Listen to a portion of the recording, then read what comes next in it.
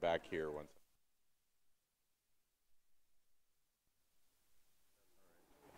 Good morning, everyone. It's great to be here with all of you. I'm Reg Helwer, the Manitoba Minister of Labour, Consumer Protection, and Government Services. We acknowledge that we are gathered on Treaty 1 territory and that Manitoba is located on the treaty territories and the ancestral lands of the Anishinaabeg, Anishininewuk, Dakota Oyate, Denesuline, and Nehethowuk nations. We acknowledge that Manitoba is located on the homeland of the Red River Métis. We acknowledge northern Manitoba includes lands that were and are the ancestral lands of the Inuit. We expect, respect the spirit and intent of treaties and treaty making and remain committed to working in partnership with First Nations, Inuit, and Metis people in the spirit of truth, reconciliation, and collaboration.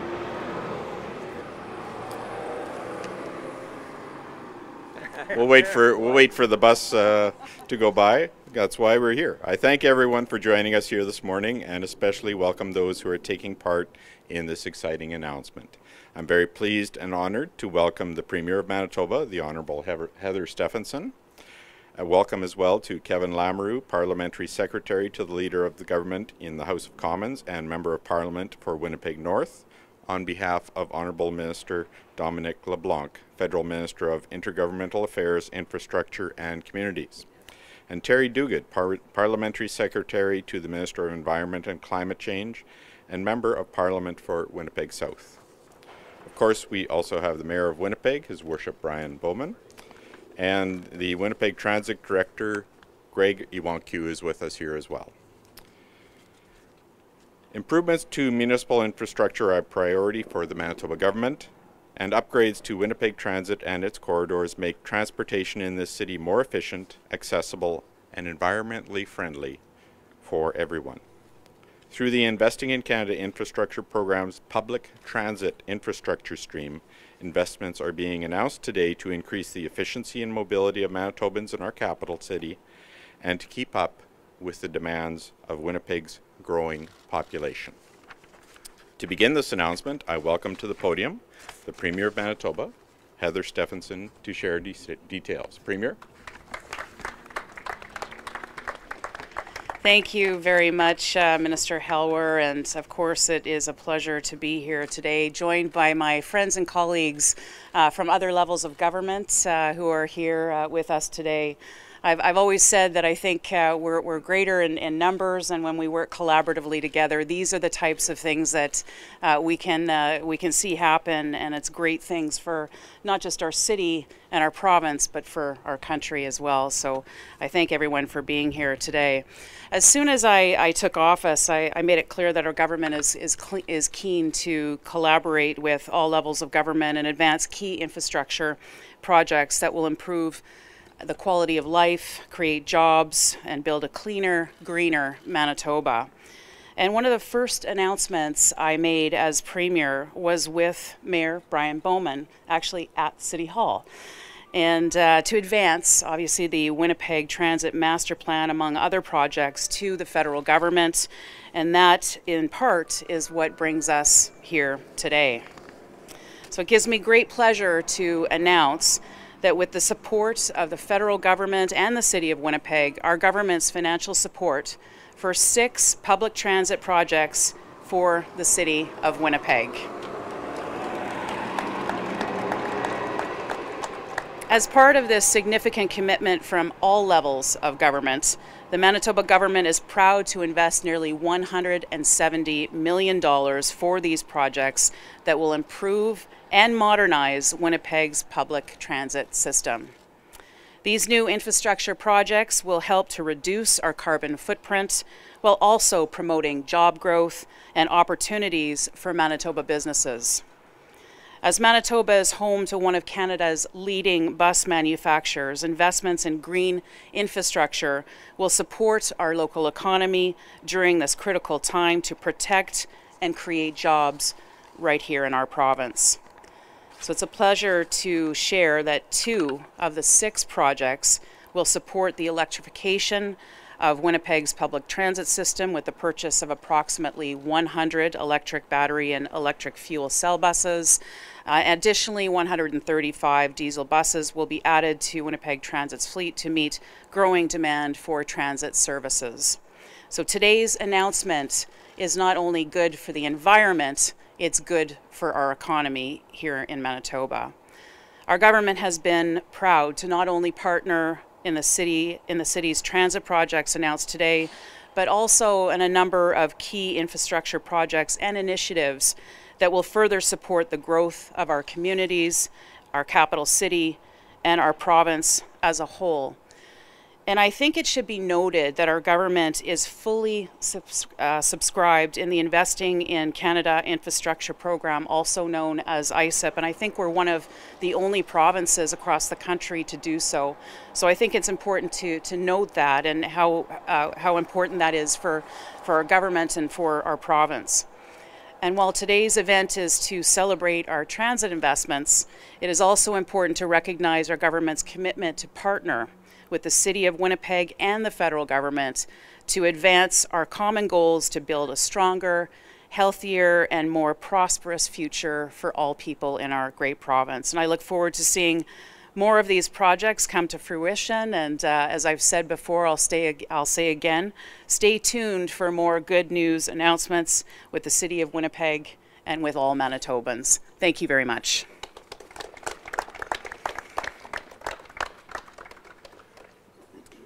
Thank you, Premier. Great announcement.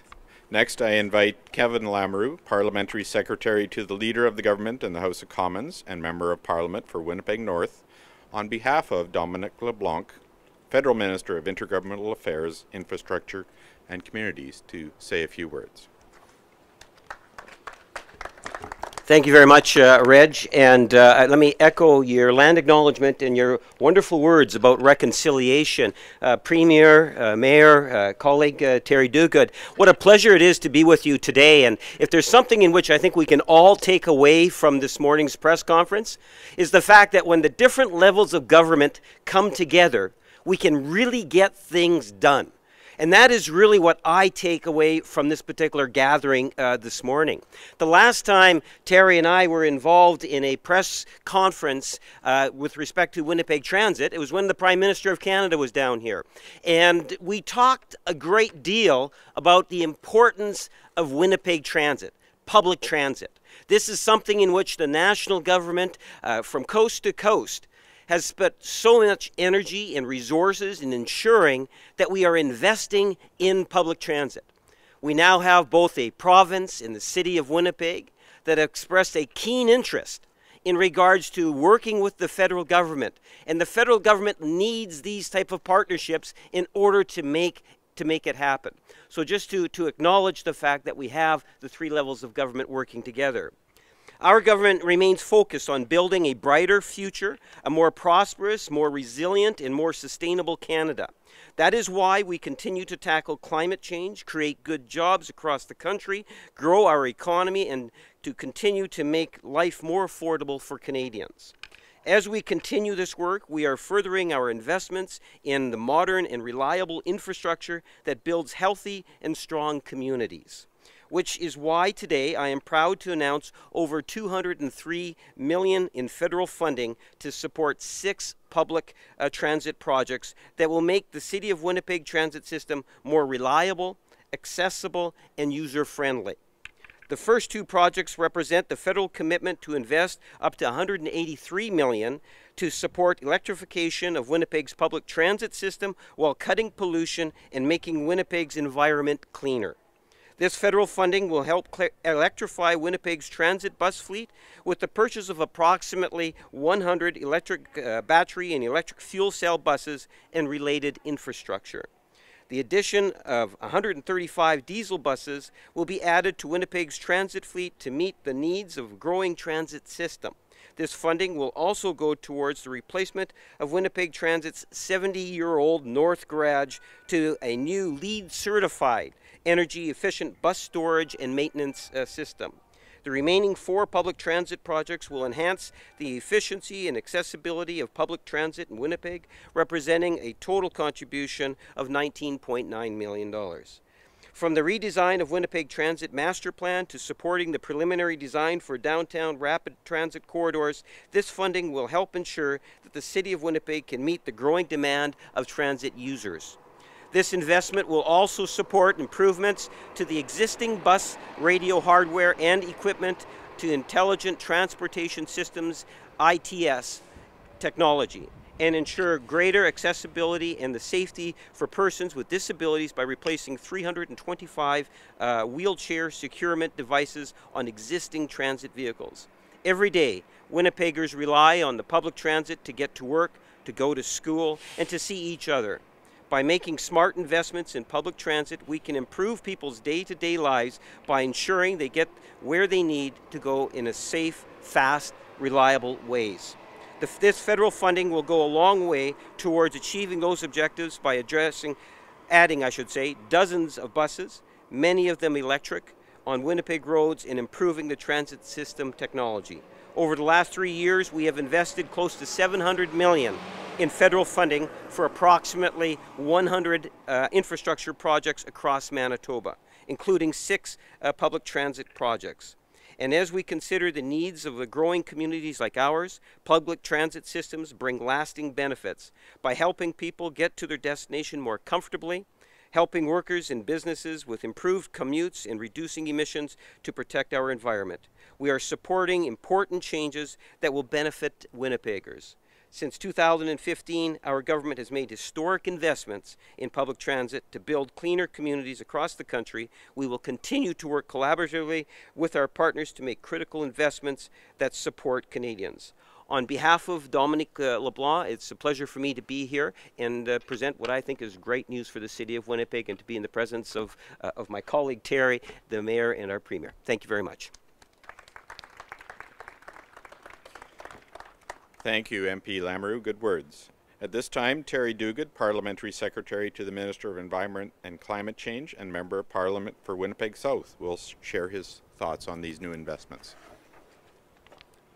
Well, thank you, uh, Minister Helwer. Uh, uh, good morning, everyone. It's great to join you on Treaty 1 territory, the homeland of the Red River Métis, and uh, join my colleague uh, Kevin Lamoureux, uh, Premier, uh, Mayor, uh, for today's announcement, which is great news for Winnipeg families, students, and workers.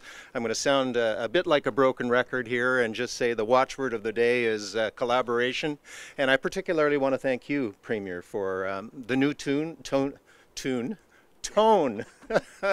I know you can. I know you can sing too. uh, we're all singing from the same same song sheet. How's that? That for a, for a recovery. But uh, you have set a new tone, which I think is really making a difference, and we look forward to making many more announcements with you in the not too uh, distant uh, future. And and may I say that uh, today's uh, announcement, as a former city councilor, a former chair of public works, warms my heart. I always was very very appreciative of investments in transit and three levels of government working together. And here we are uh, situated on the Southwest Transit Corridor, which was the, uh, the product of three levels of government uh, working together, which I can tell you has made a huge difference in, in my community of Winnipeg South, getting our university students uh, back and forth and, and really taking pressure off of uh, Pembina Highway. So uh, our government continues to strengthen the economy and our communities to provide new opportunities for families, youth, and seniors, from roads and community centers to public transit and water and wastewater systems. We are making investments in infrastructure that make a real difference in the lives of Canadians. In collaboration with the province of Manitoba and the city of Winnipeg, our government is stepping up to provide our city's residents with 21st century public transit infrastructure that will ease congestion on our roads, reduce pollution, and make Winnipeg a more inclusive uh, place. And as the Premier mentioned, it's also going to create jobs here in our local economy as we have the, the largest manufacturer of both coach and uh, city buses uh, in North America. These six projects will help Winnipeggers get around in cleaner, faster, and more affordable ways, whether through electrification of approximately 100 electric battery and electric fuel cell buses, equipment and accessibility upgrades, or replacement of the 70-year-old North Garage to be a green and energy efficient facility Uh, today's announcement will help ensure that Winnipeggers have access to modern infrastructure that meets their needs. Public transit is at the heart of our cities and communities where people live, work, and play. Investments in modern public transit infrastructure make life easier while creating good jobs, connecting our communities, and growing the economy. In collaboration with our provincial and municipal partners, our government will continue to make investments that support further economic growth, reduce emissions, and help build a more resilient future for our Canadians. And so on behalf of my uh, Minister, the Minister of Environment and Climate Change, the Honourable Steven Guilbeault, um, it's great to be uh, with you today to participate in this wonderful announcement. Merci. Thank you. Thank you, MP Duguid. And now we have Mayor Brian Bowman, and I'm sure he'll bring us some details on these investments and the improvements they'll bring to Winnipeg Transit System. Mayor? I think I need a bigger mic. well, this this is a great uh, this is really a great day. I, I want to uh, I want to begin by acknowledging uh, our premier, uh, Premier Stefanson. I want to thank her. Our first meeting, uh, I raised this as a priority. You said that you would deliver on on this uh, this announcement today for the benefit of Winnipeggers and Manitobans, and you made good on that, and you delivered for Winnipeg. And I want to acknowledge and I want to thank you for doing that. This is a really a really big deal today, and um, you know it, it, had been stalled on the former premier's desk for a little bit of time. Uh, it didn't uh, under your leadership, and so thank you. Uh, thank you very much, uh, Minister Helwer. Uh, Kevin Lamoureux, par Parliamentary Secretary and MP for uh, Winnipeg North, and Terry Duguid, Parliamentary Secretary and MP for Winnipeg South. Thank you very much for your leadership and unwavering support for transit.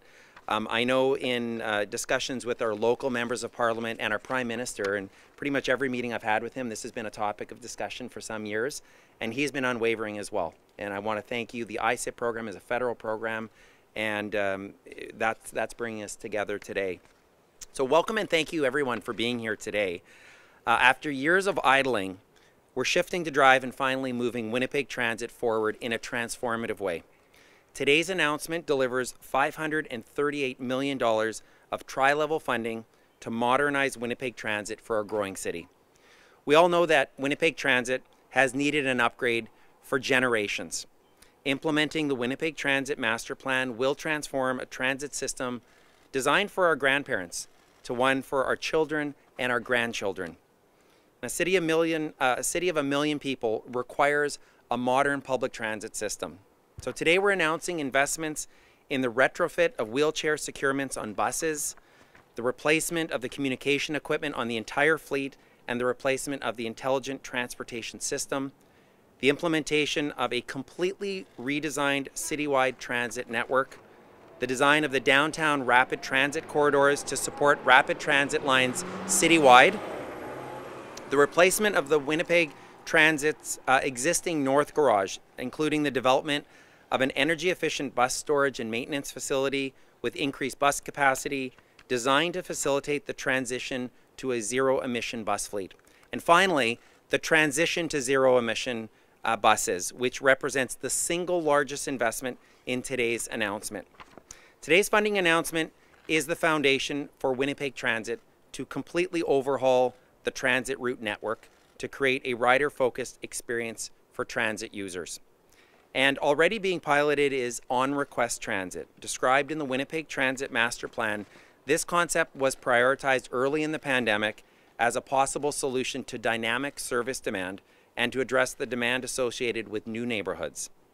And as we grow to a million people, how we move and connect will be critical to maintaining a sustainable community. Today's announcement of $202.9 million from the federal government and 169.5 million from the provincial government builds on the overall city investment of, of $165.5 million. Since I was elected in 2014, the collaboration of federal, provincial, and municipal governments has delivered investments of $1.3 billion to help build Winnipeg for the future. Today's announcement takes that number to almost $1.9 billion. Winnipeg is now en route to a stronger transit system. That's the sound of a more sustainable future. It's great. thanks again for being here. Merci, Mayor. Well, thanks. thanks. Thank you, Mayor. And uh, as Minister responsible for the public service in Manitoba, I also thank our public servants that did the work uh, to put this all together, along with the civil service for the City of Winnipeg and the federal government. We know that that's where the work gets done, and I acknowledge all that work that was done behind the scenes to make this possible. So we'll now take questions from the media. If uh, you want to tell me who you want to direct the question to, and then we can bring them to the podium.